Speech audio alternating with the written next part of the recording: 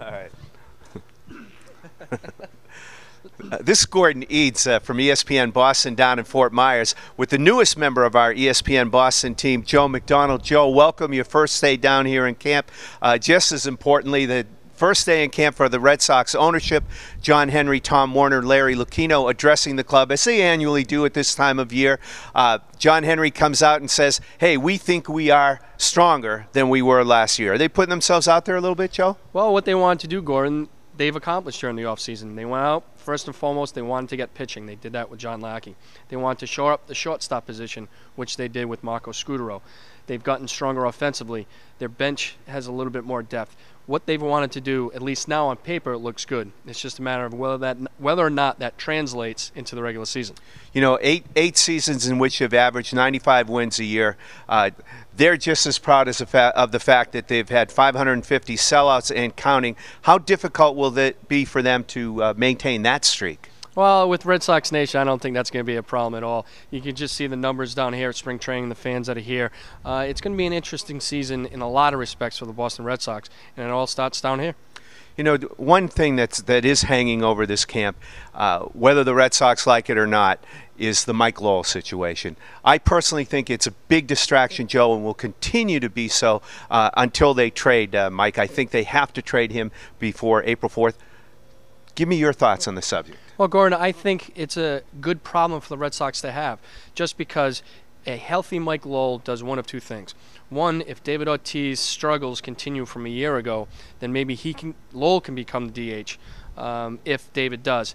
If not, if Mike Lowell is healthy and he produces during the spring, then he'll be a little more attractive to other teams, and then possibly the Red Sox can Red Sox can get something in return for him. So it's just a matter of how it plays out. Well, well, tell me this: what's your reasonable expectation that Ortiz is going to struggle uh, this season like he did last year? I mean, you look at the at his performance from June 1st on, and I noted this in, in, in one of my columns.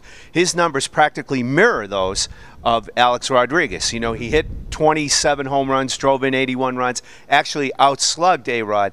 I mean, do you think there's a chance that he's going to open this season uh, as flailing, as helplessly as he did last year? I don't think so. Uh, just because he dealt with a lot of off the field issues last year that he has resolved since then. And he looks in great shape when he's down here, and he's happy as he usually is. So I just think that he he wants to make sure that people understand that he can do this, and he's back. And talk to the teammates; they believe that he can have a big season as well. 34 years old. He's in the last year of a contract that's paying him $12.5 million this year. The Red Sox, of course, hold a $12.5 million option uh, for next season. What is the possibility in your mind that the Red Sox will act early to pick up that option, or do you think this is something that's going to go all the way until uh, uh, October? I think this is something that's going to drag on. They're going to wait to see one about his health, two, two about his production, and that's basically what it comes down to. What are your concerns about his health? I mean, uh, the wrist is, is now a two-year-old issue, basically. Um, as you noted, you think he's in better shape. I think he told me that he weighs 264 pounds, you know, which is only about six pounds less than he played last year. But he does look good. The weight looks distributed well. I mean, he was hitting bombs out here uh, uh, today. Do you have uh, concerns about Ortiz's health? The one thing about the wrist injury that you had mentioned, Gordon, is that he never had surgery on it. And an injury like that, especially with the way he swings the bat, and it's just it's something that can always come back if, if it's not corrected. Certainly, there's ways of, of rehabbing it, which he has done, but because he didn't have the surgery, I'm just waiting to see. I'm hoping that that doesn't come back, at least for, for the Red Sox, but uh, it's still a possibility. You know, J.D. Drew hardly has a reputation of being a clubhouse cut up, but, you know, J.D. Uh, uh, spun a couple of great stories this morning. Uh, he talked about taking his family on vacation to New Mexico, to uh, evidently the snowy regions of New Mexico, told his little ones that he was bringing them to the North Pole. Well, a big deer comes outside the, the place where they're staying, and J.D.'s a deer hunter. And, and, you know, his first thought is, well, you know what his first thought is. Well, his little boy's thought was, Daddy, don't shoot Rudolph.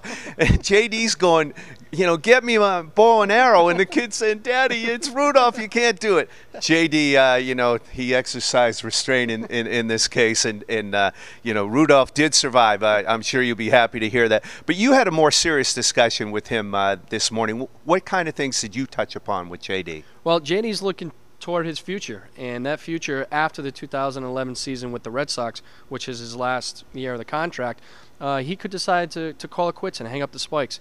Uh, he's pretty serious about it. He said that he has mixed emotions right now, and he thinks that it, one, if he does decide to hang it up, securely, he's he's fine financially, and he just wants to spend time with his family. He also said that there's a very good possibility that he'll will want to continue to play for a year or two after the contract is up, and if that's the case, he definitely wants to do it here in Boston.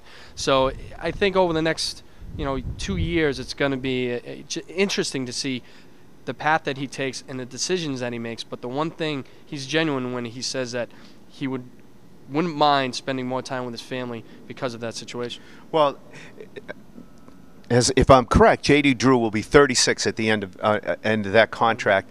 Mike Cameron, the guy they've signed for two years, and he's already 37. Uh, it does seem that the Red Sox are paving the way for opportunities for some of these young outfielders they have in the in the system. You've seen some of these guys play: Ryan Kalish, Ryan Westmoreland, Josh Reddick. Uh, do you think that was the bridge that Theo was talking about this winter? No question. Uh, if you think about JD Drew and, and, the health issues that he's had, he's been able to play through them, and he's been criticized at times for certain things. But if he decides to call it quits after the 2011 season, the Red Sox certainly have the prospects to fill that void. As you had mentioned, Kalish, Westmoreland, Reddick. These guys will prob- probably be big league ready by that point. Which, so you have an outfield of any number of those guys, including Jacoby Ellsbury. That's still a pretty good outfield for the Red Sox. You know, the, the one question I had when you told me about this, Joe, is you know, Manny Ramirez walked into Dodger camp yesterday, said he was going to retire at the end of this season, then came back the next day and, and said, "Oh no, I might play five more years." Uh, JD's not doing this with you, is he? No, not at all. He, this is something that goes back a while, and he's talked with his wife about it in the past. He said, and uh, he's genuine about it. I mean, he's a family man, and he does want to spend time with his kids as they as they grow up. Uh, so no, I, I, think he's pretty genuine about this. This is the first of uh, what we plan to be daily reports uh, from Fort Myers. It'll take us right up to April 4th, opening day in Fenway Park against the Yankees. Uh, we hope you'll join us on a regular basis. I'm Gordon Edes. He's Joe McDonald. We're going to tell you about the Red Sox. Thanks for watching. Cool. I thought that one was good. Yeah,